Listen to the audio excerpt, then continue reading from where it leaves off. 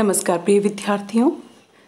हमने राम लक्ष्मण परशुराम संवाद, जो कि तुलसीदास जी की सर्वश्रेष्ठ कृति रामचरितमानस से लिया गया है, उसका अध्ययन आज प्रारंभ कर दिया है। तो आइए हम पहला पद लेते हैं। पहले मैं इसका सस्वर वाचन कर रही हूँ, उसके पश्चात हम इसका भावार्थ और शब्दार्थ करेंगे। नाथ संबधनु भंज निहारा, होयूं क्यों एक दास तुम्हारा? आयुष काह कहिन किन मोही, सुनी रिसाई, बोले मुनि कोही। सेवकु सोजो करे सेवकाई। सेवकु सूजो करे सेवकाई, अरिनी, अरि करनी करी करे लड़ाई।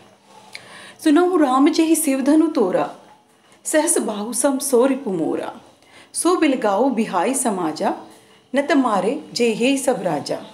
सुनि मुनि बचन, लखन मस्काने, बोले पर सुधरई अवमाने भो धनई तोरी लरिकाई, कभौ न असिरिस कीनी गोसाई। यही धनु पर ममता के हेतु, सुनि रेसाई, कह भ्रगुकुल केतु। रे रप बालक काल बस, बोलत तुहि न संभार। धनुए सम त्रिपुरारि धनु, विदित सकल संसार। परशुराम शिव धनुष तोड़े जाने के बाद राजा जनक की सभा में उपस्थित हो चुके हैं और उनके राम और लक्ष्मण के बीच जो वार्तालाप प्रारंभ हुआ है उसी को हम यहाँ पढ़ रहे हैं। तो देखिए राम जो है परशुराम से कह रहे हैं नाथ संबुधनु भंज निहारा कि हे नाथ शिव धनुष को तोड़ने वाला कोई क्यों एक दास तुम्हारा कि कोई आपका सेवक ही होगा? आयसु आयसु मतलब आज्ञा। इनके शब्दार्थ देखते जाइए। आयसु अर्थात आज्ञा। क्या आज्ञा है?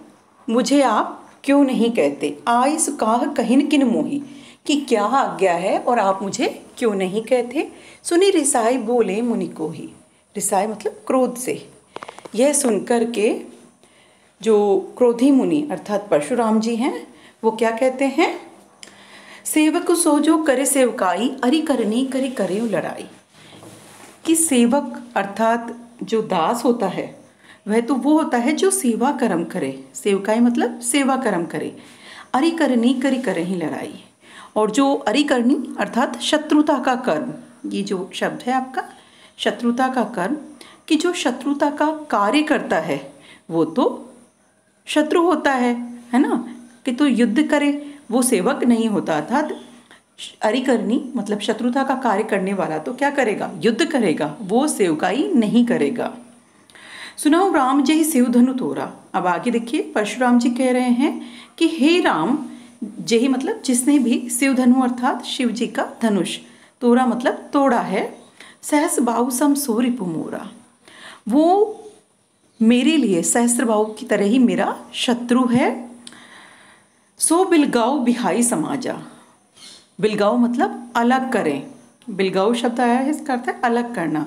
बिहाई मतलब छोड़ करके, समाजा मतलब जो राज समाज वहाँ बैठा हुआ है, उसको, कि अतः वो मेरे लिए सहसबाहु के समान ही शत्रु है, इसलिए वह समाज को छोड़कर अलग हो जाए।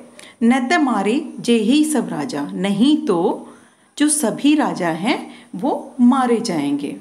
सुनी मनु वचन लखन मुस्काने, लखन अर्थात लक्ष्मण, कि मुनि के इस प्रकार के बड़बोले वचनों को सुन करके लक्ष्मण जो है वो मुस्कुराने लगते हैं। बोले पर सुधरई अवमाने। अवमाने अर्थात अपमान करते हुए। देखिए, अवमाने, अपमान करते हुए। परशुराम का अपमान करते हुए क्या बोलते हैं? बहु धन ही तोरी लरिकाई। कि हे मुनिवर, बाल्य अवस्था में अनेक धनुष हमने तोड़े हैं। लरिकाई अर्थात बचपन में। कि हमने न जाने कितने धनुष बचपन में तोड़े हैं। कबहू ने असी रिस कीन घुसाई। असी मतलब ऐसा रिस मतलब गुस्सा। कीने मतलब किया है कि तब तो आपने गुरुवर कभी भी इतना गुस्सा नहीं किया। यही धेनु पर ममता के ही हेतु कि इसी धनुष पर आपकी ममता मतलब ममता अर्थात प्रेम, है ना? इसी धनुष पर आपकी ममता किस लिए है? सुनी रिसाई कह भ्रगुकुल केतु। यह सुनकर भृगुवंश की ध्वजा, अर्थात परशुराम जो हैं, वो क्रोध से, क्या बोलते हैं, देखो। रे नृप बालक काल बस। रे नृप बालक, रे क्या है? संबोधन के लिए है। कि हे राजपुत्र, बोलत तो ही न संभार, कि कालवश होने के कारण बोलने में तुझे जरा भी समझ नहीं है, अर्थात संभार नहीं है संभार संभार मतलब समझ ही होता है। धनुई सम त्रिपुरारी धनु। धनुई मतलब धनुष, त्रिपुरारी धनु मतलब त्रिपुरारी मतलब भगवान शंकर का धनुष। कि यह संसार भर को ज्ञात है। यहाँ से लेंगे हम इसका विदित सकल संसार। कि यह संसार भर को ज्ञात है कि यह शिव धनुष क्या धनुई के समान है। अर्थात यह जो धनुष है, ये सामान्य धनुष के समान नहीं है। ये तो भगवान शंकर का धनुष है। तो इस प्रकार इसका हम भावार्थ करेंगे। धन्यवाद।